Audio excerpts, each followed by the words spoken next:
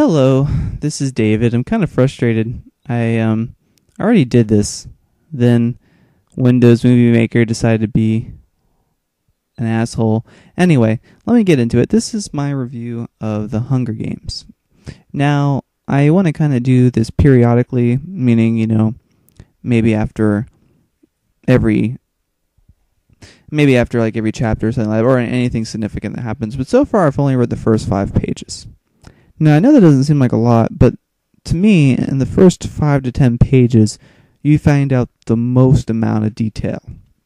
And if you just skim through the first five ten pages, you're going to miss out a lot because I think that the whole story is revealed in the first five to ten pages. That's why it takes me so long to read a book because I really analyze. It. I don't just skim through it. But anyway, let's get right into it.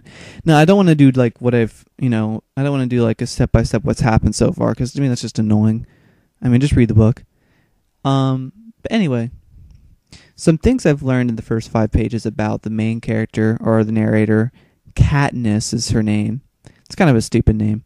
She's 16 years old, she's female, and she's from District 12, nicknamed the Seam, which I'll get into later is actually very interesting. Um, some character traits I found out about this uh, girl is that she's very selfish and egotistical.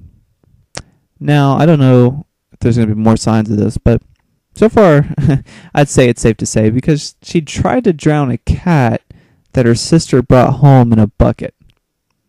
And oh, her reason was to have one less mouth to feed. Now, to me, that's a little extreme.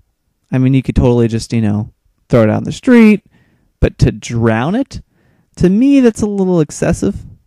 I mean, if I was in that situation, I would definitely just you know, if, let's say you know it was poor reasons, and I didn't want my, you know, my little sister to. Oh, and by the way, I don't know if I mentioned this. It was her sister that brought home a cat. Um, know, I would probably just you know like, you know, put it outside, you know, make it run away or something like that. You know, given those circumstances, but to actually drown it, to me, that's a little extreme, and it kind of shows some cold bloodedness. But I'll get into that later. Um, and it, it definitely does. The reasons for this could probably be for, you know, poverty reasons. You know, she has no. You know, I mean, I guess if you live in a dog eat dog world, this isn't so uncommon. Um, another thing I learned is that she's kind of a pessimist. She believes that the closest that she'll ever come to love is feeding a cat entrails of killed rats and mice, and that's that's pretty depressing. Um, the reason that she probably feels like that is probably because her father died. And I think once you lose someone you really love in the world, you don't really think that you'll ever find that kind of love again. And this all happened when she was 11 years old. which is pretty sad. But I mean, you shouldn't kill cats. Though. Okay, I'm gonna, I'm gonna just move on. All right. uh, oh yeah, that's another thing. Hold on, I wanted to say this. If you kill a cat, there's something wrong with you. I mean, I can understand killing a fish. But a cat or a dog, what the fuck's wrong with you? I mean, come on. They're so cute. Why would you kill something so cute? What the hell's wrong? Sick. Okay, next. I learned that she's actually very cautious, and this is actually kind of interesting the detail of why I think this. Um, there's a fence that separates the meadow and the woods. It's called it's an electric fence, and it's supposed to be a 24 hour electric fence, but I guess the they only the um District 12 only gets power like maybe two hours a day at most, I guess. So that gives you like maybe a one in twelfth chance of getting electrocuted. And some interesting things here that I learned is that it hums whenever it's on.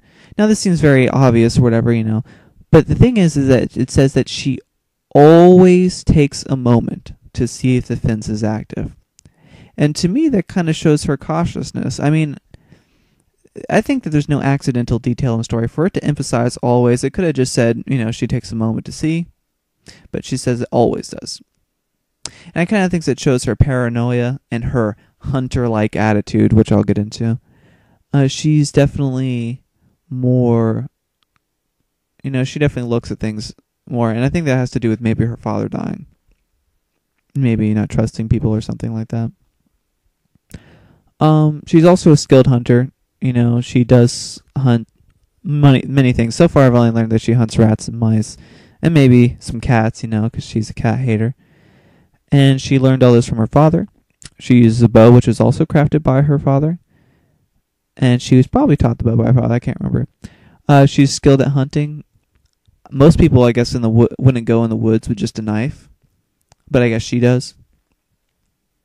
And she's very brave, I would say, and bold because she goes into the woods despite the penalties and even worse, the dangers. And the penalties, you'd think, okay, whatever, you know, but the penalties for doing this is like death. Not for necessarily hunting, but what she does, but I'll get into that later. Um, she's very stoic. She masks her emotions, and she doesn't make small talk unless it's polite. Um, she definitely masks her emotions, I would say, because of her dad. Maybe some other circumstances. I mean, her lifestyle's pretty shitty.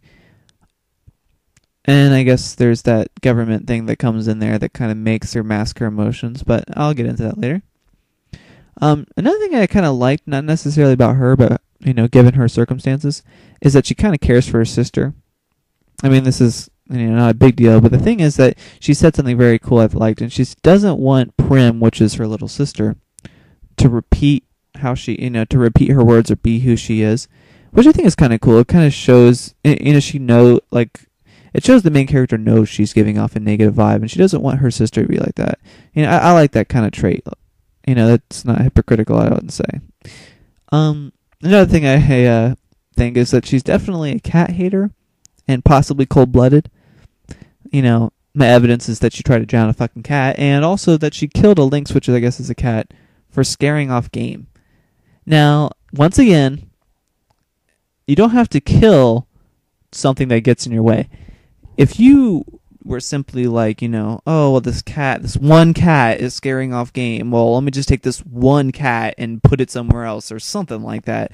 You know, to me, to go as far as killing it is a little extreme. I mean, even if it's any circumstances, like it doesn't necessarily have to be a cat to make it kind of illogical. It's kind of like with anything. Even if it was an object, there's no reason to blow it up. You know, you could simply just move it. Um, I think that's kind of ridiculous. I don't know if there's some kind of cat hatred going on here, but you know, that's whatever. Um, I learned that she makes most of her money, I guess, selling the food that she hunts and stuff like that, and that's in the black market. And there's some more things like she trusts Gale, but I'll get into these other characters later. I don't really know a lot about Prim, Gale, or her father or mother to really analyze them. Um, okay, so Another thing, I guess, you know, like I said, her she does her father's death really did impact her. She still thinks about it, you know, five years later and wakes up screaming. Um, so I'm here. Okay, so now let me get into my first prediction. And there's some interesting foreshadowing that happens, I think, and this is kind of obvious. The first one is that you know she thinks that she'll never find love. Well, clearly there's going to be some love going on, especially with this Gale character I learned about. Um, another thing that I really found interesting is that she hides bows in the woods. I don't know if the Hunger Games is taking place in the woods, but she may try and use these bows later on. And since she goes into woods often, I'm not sure if the Hunger Games takes place near District 12, which I, I think that would be pretty cool. It kind of would give her an advantage if she were to be in the Hunger Games, which probably obviously is going to happen. So it kind of would give her you know, she would have territorial advantage, I guess, over some people, which would be pretty interesting. And you know, now that I think about it, uh, this isn't really planned, but I th- think that she definitely would kill a kid. If you're willing to kill a cat, I'm sorry, but you're probably going to kill a kid. So I'll, get into that later, but I don't want to get off track here. Okay, so I don't know enough about Prim. Okay, so the father, I, I, guess I don't really know anything about him, but I learned that he died in a mine explosion. And there seems to be a lot of emphasis around the mines and the dangers. But anyway, I'll get into that later. Um, I don't know what the day of reaping is. I'm assuming it's the draw for the Hunger Games. Okay, and here's the next thing I want to talk about is District 12. It's nicknamed the Seam. It's a poor district. I mean, obviously. Um, the workers there, I guess, don't really have have like a don't care attitude. Um, it's almost like they're being enslaved. And I think there seems to be okay, okay. The mines in the uh, District 12 seem to have a lot of emphasis. There seems to be a lot of workers focused around that. I don't know if the government's using that district for the mines or there's some kind of something they're doing. I don't know. This could be interesting. It's definitely dangerous. Um, I guess that people don't even bother trying to get off this coal dust or whatever it was off of them. And there's a mine explosion, so that's obviously shows danger. The people of District 12 seem to not really care about the laws that the government have. Um, so an interesting quote says that they would actually risk execution to hunt for woods. I mean, I'm sorry, I need I need to change that, but um, hunt for food in the woods. Um, that's definitely shows a lot about their situation. Um, and it says they would. Uh, well, this says this is actually a prediction.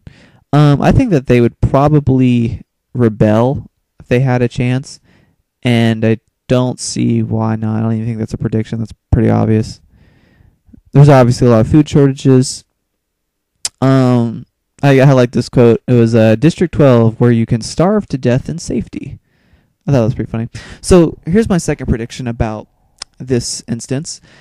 There seems to be some foreshadowing about the uh, it's not really direct foreshadowing, but how there's tight control over the government. I mean, over this district by the government.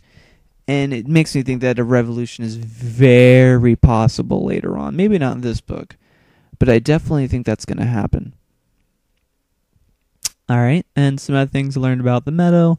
Don't know enough. Here's an, I learned about the electric fence, which, you know, like I said earlier, is supposed to be 24 hours, but it's only, you know, on, you know, one twelfth of the time. And I, I know that this detail is probably significant towards the main character being cautious, but I also think it has an interesting thing here. It could be a way of escape of the Hunger Games, maybe something like that. You know, if it does take place in these woods, I don't. I absolutely believe that she's gonna escape with her sister or something, or escape with, you know, I don't really know if that's gonna happen. I I do know that she's probably gonna be in the Hunger Games. I mean, I don't know if there's gonna be, you know, her sister or her or something like that. And the reason why I say her sister because I know that her sister gets called in the prediction because I just some things got spoiled for me thanks to my girlfriend. But anyway, um, come in the way it's going. Okay, all right, okay, okay. So I do think that this could be more significant maybe towards even killing someone. Like I think there could be a scene where, you know, I don't know. Who knows? Maybe she fakes her death by electricity. I don't know. So there could be a lot of things emphasized there. Um Okay, so more things I learned about the woods obviously has is very dangerous, has a lot of predators inside. It's, it's hard you get lost in there, it's hard to find food, it's illegal to poach. Another thing I learned about is the government. The government in society, I guess, has a, a lot of control over the people. Um, they also seem to have seem under heavy control, which to me is very interesting. What I'll get into. It has that Big Brother feel. You know, there's no real freedom of speech. I guess you even get punished for speaking ill against the government. Uh, some laws I learned about. Um, it, eh, one is inciting rebellion, and the penalty is public execution. And I guess the purpose is obviously to s- stop a revolution. I mean, there's no reason to make it public if you weren't trying to make it, you know, install some kind of fear or set an example. Um, another thing is poaching in the woods, which is kind, I guess, kind of like hunting and the penalty is like one of the highest. Now, I guess it isn't necessarily death, but I guess the purpose to kind of have control and also to stop them from getting free food and maybe even to stop them from becoming skilled hunters when they get into the hunter games. And I'm not sure exactly what the winner gets. Maybe some kind of freedom. Who knows? So peacekeepers, um, I don't really know anything about them, but I do know that they work for the government. Maybe I don't really know that either, but um, I know that they're kind of okay with them breaking the laws and hunting because I guess maybe they're poor too, since they're the number one customer. And I learned about other things, the Panem and the Capitol and some other things, but I don't really know too much about them yet. So anyway, this is my five-page analysis of this book so far. All right, and I will get into this a little bit later, probably after the first chapter. But like I said, some things, some keynotes to go back and look, look over is the fact that there's a lot of foreshadowing, and I definitely think that this girl is probably okay with killing a kid. Because I was wondering if I, I know that the Hunger Games has some kind of killing involved with children, and to me, if you can kill a cat or a dog, you I don't see any reason why you couldn't kill a kid. I mean, you can kill a person, but to kill an animal that's a dog or cat to me it just seems worse. I know that I'm I'm joking, of course, when I say that. I mean, obviously, I know that killing kids a lot worse, but I'm, I'm just saying. I mean, just look how cute they are. I mean, come on. All right. So anyway, and then I'll, I'll probably get learn more about this. And I, I do think that my prediction about the electric fence and some other things are right. Anyway, thank you very much. Goodbye.